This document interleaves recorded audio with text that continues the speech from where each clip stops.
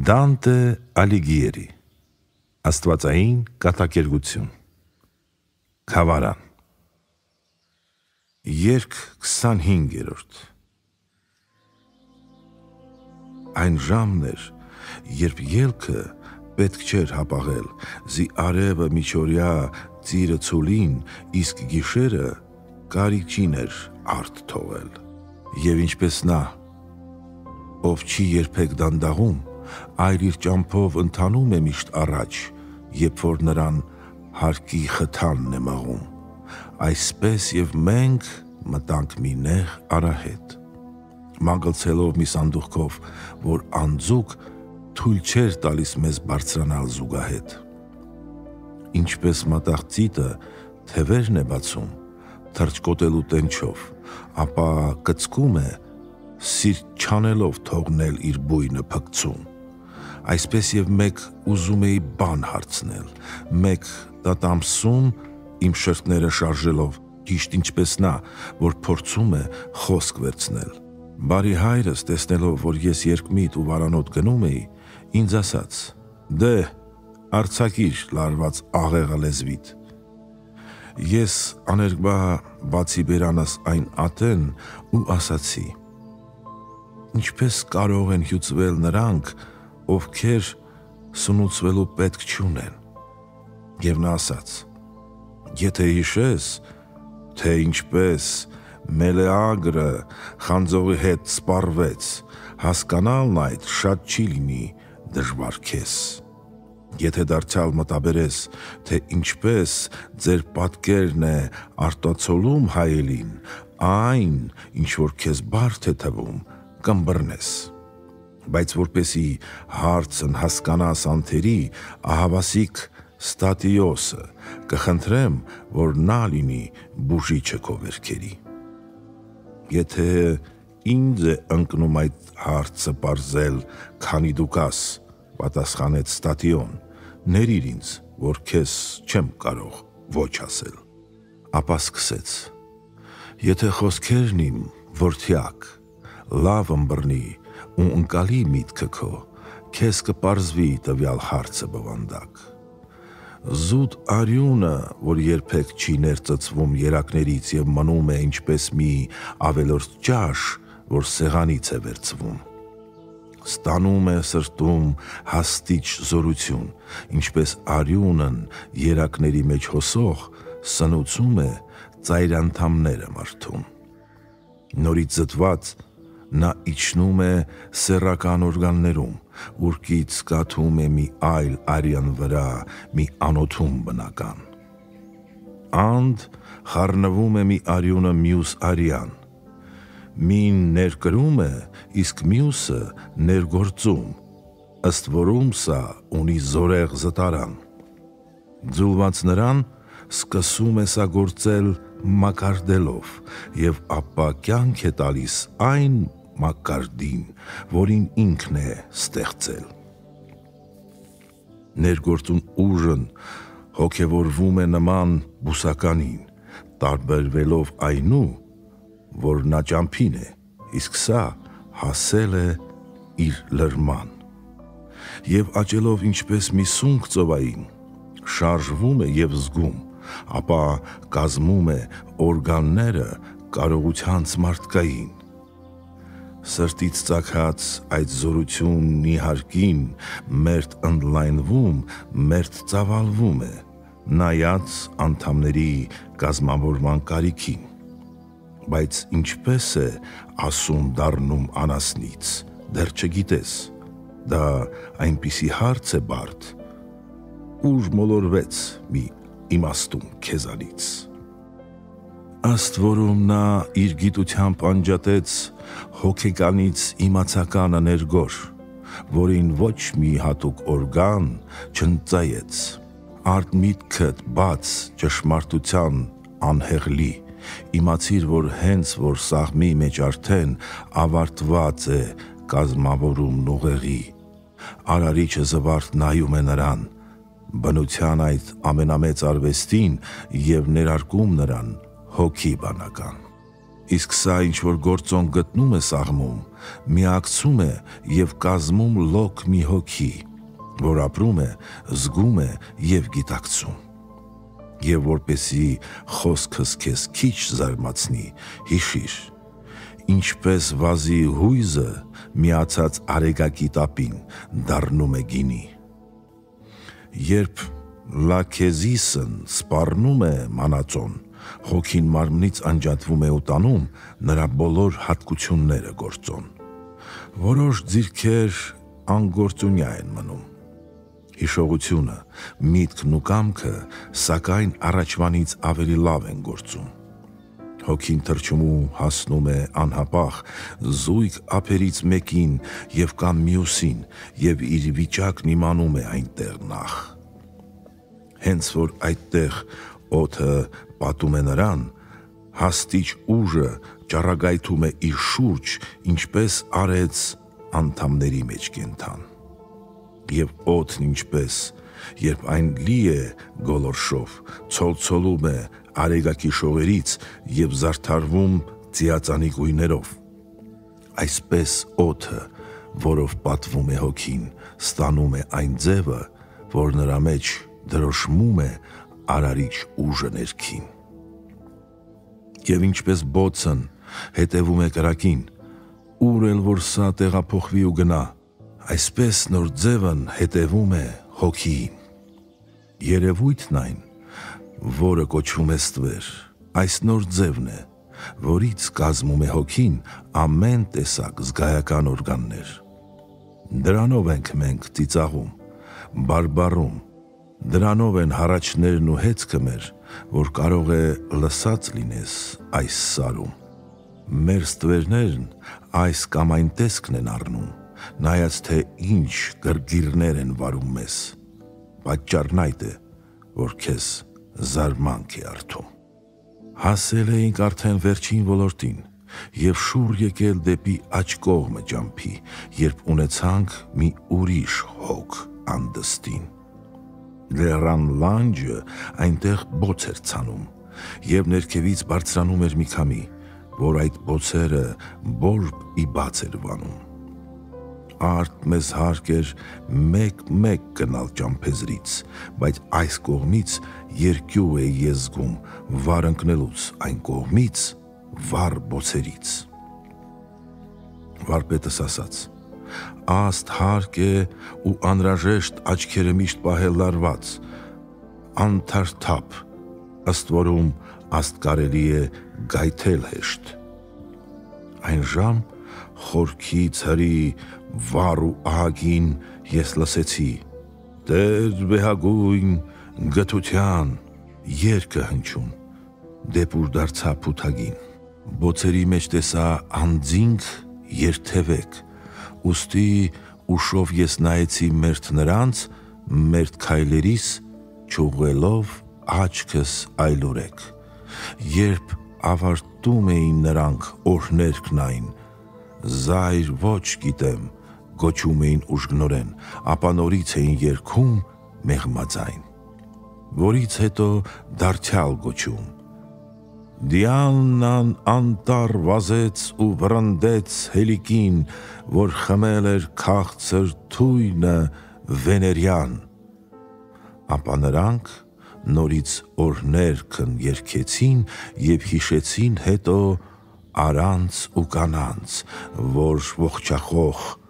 անեղծ կյանքով ապրեցին։ Եվ կարծեմ այս երկն ու գոչերը այնքան պիտի տևեն, մինչև նրանք տոչորվեն։ Այդ գոչելով ու այդ պատժով խավչական վերքերն իրենց վերջի վերջո կփակվեն։ Երկ 26-րդ Մինչ մենք քայլում էինք իրար ետևից, ջամփի եզրով, բարի վարպետս հաճախ ասում էր ինձ. զգուշ, օգտվիր իմ ազդից արևը, որ դեպ արևմուտք էր թեքվել, պայծառելով հորիզոնը կապուտակ, ճանճանչներն իր իմ աչ ուսին էր զարկել։ Եվ այնտեղ, ուր մարմինս ստվեր էր արել, հուրն ավելի շարագույն էր երևում, հոգիներին դա զարմանք էր պատճառել։ Այս առիթով ահա նրանք իմ մասին խոսք բացարին եւ ասացին մեկ-մեկու։ Սա կարծես թե մարմին չունի մեզպեսին։ Ապա ոմանք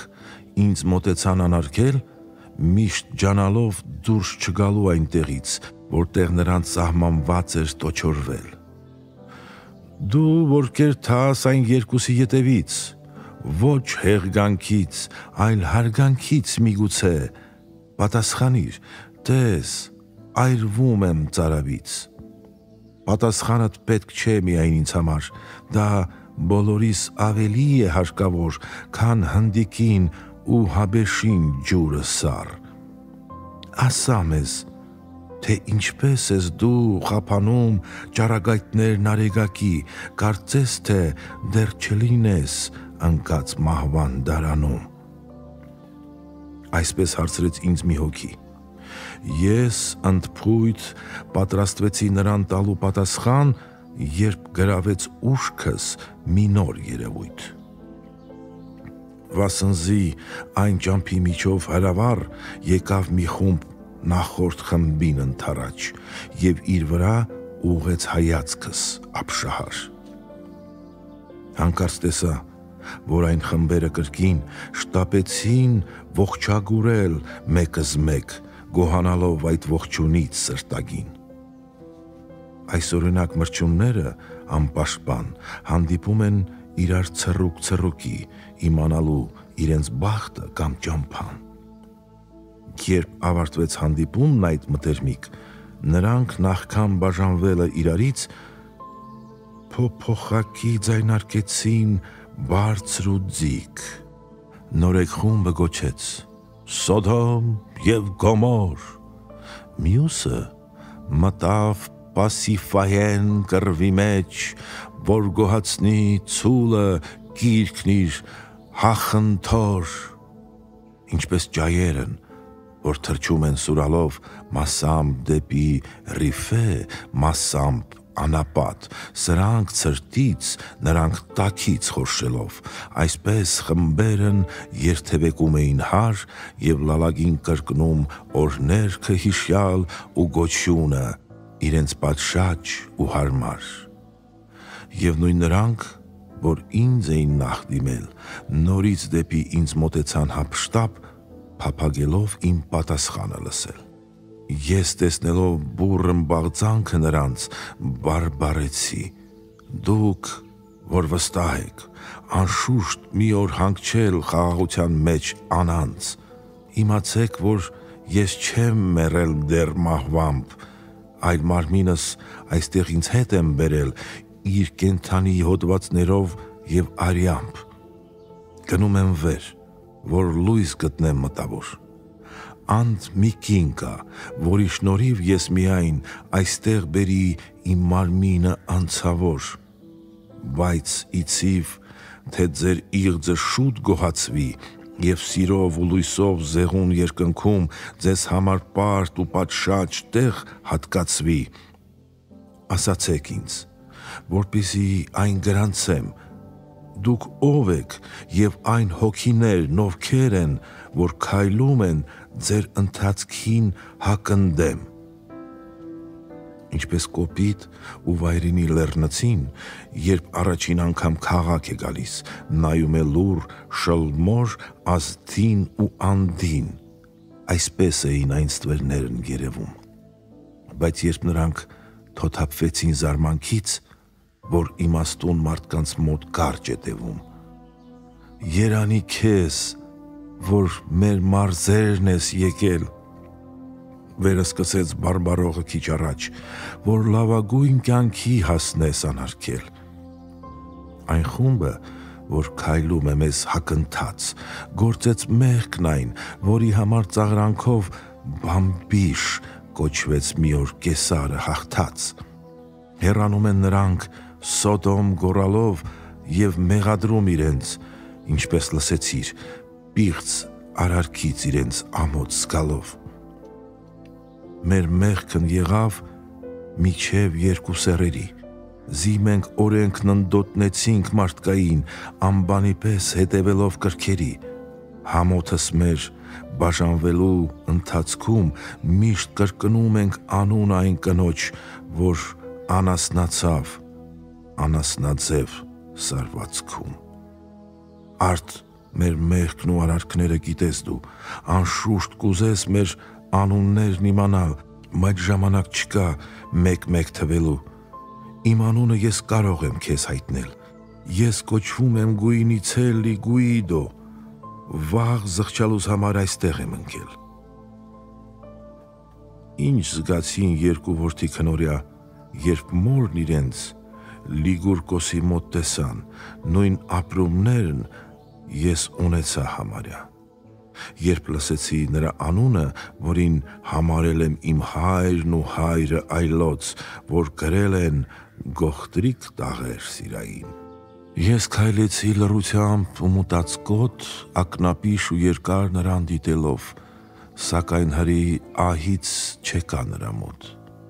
Եվ երբ նրան ես նայելուց հագեցա, պատրաստակամ եղա նրան ծառայել, տալով հաստատ հավաստիքներ նախընծա։ Եվ նա ասաց. Քո խոսքերը նորավետ այնպիսի խոր հետք թողեցին իմ հոգում, որ չի կարող լեթեն ջնջել արխավետ։ Բայց եթե քո հավաստիքներն ստույգ են, ապա ասա, ինչ է պատճառն այն սիրո, որ տածում ես դեպ ինձ այնքան ջերմորեն։ Եվ ես նրան այդ ձեր տաղերն են քաղցրիկ, որոնք պիտի միշտ հաճույքով ընթերցվեն, քանի տևի տաղերգությունն ընթացիկ։ Եղբայրս, ասա, որ քեզ մատնանիշ են անում, ասա մատով ինձ ցույց տալով մի հոգի վարպետ եղավ իր մայրենի բարբարում։ Նա տաղելու վիպելու մեջ բոլորից առաջ անցավ եւ հիմարներն ասեն թող, որ լիմոշցին գերազանց է նրանից։ Նրանք նայում են անվանը, ոչ փաստին, եւ կազմում են այսպես կարծիքը իրենց, չունկնդրելով ողջամոտությանն, արվեստին։ Այսպես արին հիներն հանդեպ գույտոնի, տարփողելով նրան Բերնեի բերան, մինչև եղավ ճշմարտությունը հայտնի։ Արդ, եթե դու ունես շնոր այնքան մեծ, որ կարող ես դեպի դրախտ բարձրանալ, ուր Քրիստոսն է բազմած իբրև կահերեց, ապա այնտեղ հայր մեր ասա ինձ համար, այնքան որքան հարկավոր է մեզ այստեղ, որ մեղանչել էլ չենք կարող մենք իսպար։ Ապա գուցե տալու համար տեղ նրան, որ իր մոտ էր, անհետացավ հրի մեջ, ջրալուցքը սուզվող ձկանճիշտ նման ես մոտեցա այն ժամյուսին ցույց տրված եւ ասացի, որ իմ հոգին անցկալի նրա անվանն հատուկ տեղ էր պատրաստած։ Նա սկսեց հոժարական բարբարել։ Դուք այնպիսի շոյող խոսքեր եք անում, որ չեմ կարող եւ չեմ ուզում ինձ ծածկել։ Ես Արնալդն եմ, որ երկում եմ արցունքով ես զղջում եմ հիմարությունն իմ անցյալ եւ տեսնում եմ հասուցյալ օրն հրճվանքով, հայցում եմ ձեզ հանուն ուժի մեծազոր, որ տանում է ձեզ գագաթ այս լերան, պատեր ժամին, հիշեցեք իմ վիշ տխոր։ Եվ չկացավ խորքում հուրի հոր ձեռան։ Երկ 27-րդ Արևը այն կետի վրա էր երկնի, ուրկից շողերն արցակում է նախ այնտեղ, որտեղ հեղվեց Սուրբ Արյունը միացնի։ Մինչ Էբրոսը թավալվում է կշռի տակ եւ Գանգեսը երևում է կեսորին։ Օրն անցնում էր, երբ տեսանք մի հրեշտակ։ Նա բոցից դուրս եզրին կանգնած Երանի այնոցիկ, որ սուրբ են սրտյոք էր երկում, մի ձայնով, որ մերնից էր գեր կենթանի։ Ապա նրան, երբ մոտեցանք, ասաց մեզ. Սուրբ հոգիներ, դուք չեք կարող ընթանալ, թե այս հուրը ձեզ չի կիզել նախապես։ Արդ ներս մտեք եւ ունկնդրեք երկմինոր։ Լսելով այս, ես սարսեցի ինչպես նա, ում խրել են մի փոսի մեջ գետնափոր։ Ահից սառած գլուխս առաջ բարձեցի, դիտելով հուրն եւ հիշելով այն մարդկանց, որոնք կիզվել էին վրան վարբոցի։ Դեպինց դարձան առաջնորդներն իմ անահ։ Որթյակ, ասաց Վիրգիլիոսն ինձ, ներս անցիր, սա կարող է ահ պատճառել, բայց ոչ մահ։ Հիշիր, հիշիր, ես օգնեցի քեզ ողջ եւ առողջ անդունդն իվարիչնելու, չօգնեմ հիմա, երբ երկինքը մոտ է մեզ։ Հավատա, որ եթե նույնիսկ դու մնաս հազար տարի այս կարակի կենտրոնում, նա չի կարող քեզնից խլել ոչ մի մազ։ Եթե կարծում ես, որ խափում եմ ես քեզ, մոտեցիր եւ փեշդ բոցին երկարիր կտեսնես, որ նա չի լինի հրակես։ Արդ թոթափվիր ամեն տեսակ երկյուղից, դարձիր այս կողմ եւ համարցակ ներս մտիր։ Ես ակամա չէի շարժվում իմ տեղից։ Երբ տեսավ, որ չէի շարժվում ես նորից, մի քիչ հուզված ասաց. Որդի, ել հիմա, այս խութն է լոկ քեզ բաժանում Բեատրիչից ինչպես իլուր թիսպե անվան անցկալի Պիրամոսը բացավ աչքերն ու նայեց թթենու տակ, որ դարձել էր արնալի, այսպես կոտրած անդիմությունն իմ համար նայեցի իմ առաջնորդին իմաստուն, իլուր անվան, որ միշտ թանկ է ինձ համար։ Եվ նա գլուխ նորորելով ինձ ասաց. Էլ չսպասենք, ու ինձ ժպտաց քաղցրորեն, ինչպես մանկան, որին միրք է խոստացված։ Ապա ինձնից առաջ մտավ հրատում։ Ստատիոսին խնդրելով մեզ հետևել, որ մինչև այդ մեզ զատել էր ուղերթում։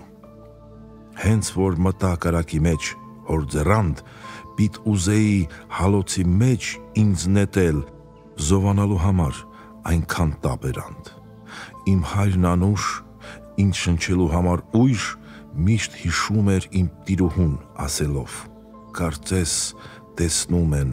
իր աչքերը մեղույշ։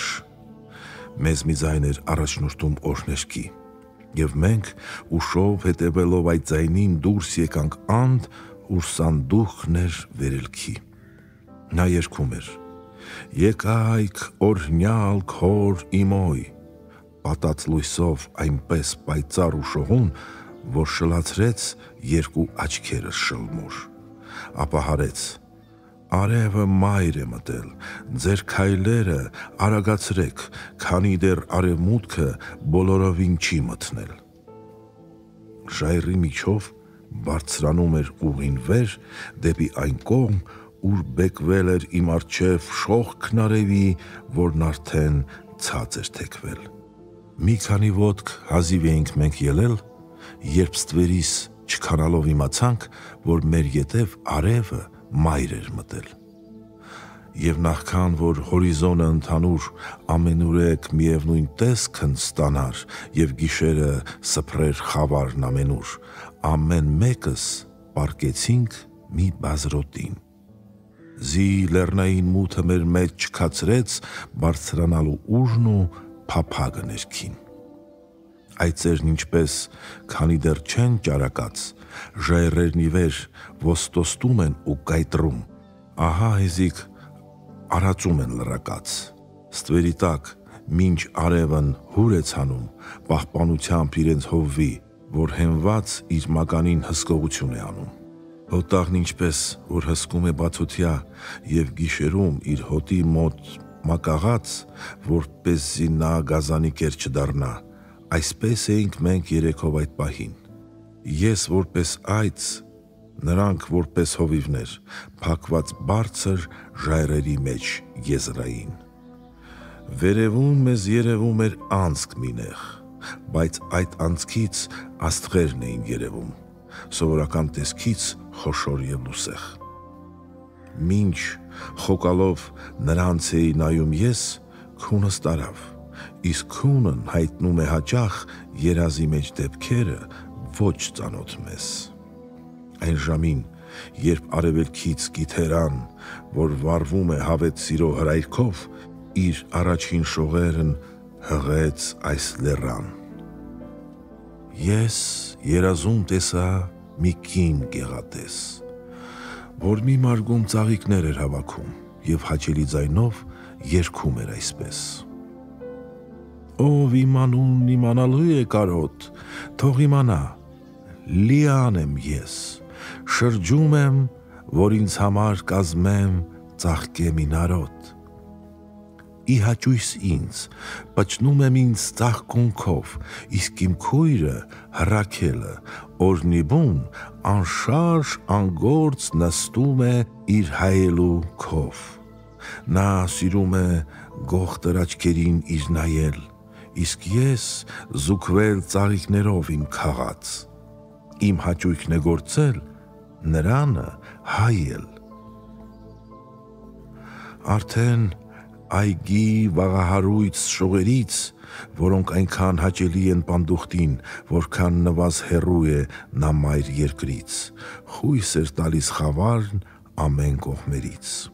Քունս էլ հետը։ Ես վեր կացա ու տեսա, որ վարպետներս ելել էին տեղներից։ Քաղցր պտուղն, որին այնքան անցկությամբ հետամուտ են սերունդները մարդկային, քո քաղցն այսօր կհագեցնի լիությամբ։ Վիրգիլիոսը այս խոսքերով ինձ դիմեց։ Ոչ մի լավ լուր ես չեմ լսել իմ կյանքում, որ պատճառեր ինձ խնդություն այդքան մեծ այնքան աճեց տենչս բարձունքն ելնելու, որ ամեն մի քայլիս զգում էի ինձ թևավորված, պատրաստ թռիչք գործելու։ Երբ սանդուղքը մեզնից արդեն մնաց ցած եւ մենք հասանք աստիճանին վերնագույն, Վիրգիլուսը դեպ ինձ նայեց ու ասաց. Որթյակ տեսար հուրն անցավոր ու անանց, եւ դու հիմա եկել ես հասել այնտեղ, որտեղ պետք է մենք հրաժեշտ տանք միմյանց։ Ամեն ճարով, ջանքով բերի քեզ այստեղ։ Հիմա թող քեզ առաջնորդի կամքը քո։ Դու ազատ ես ուղեներից սեփ ու նեղ։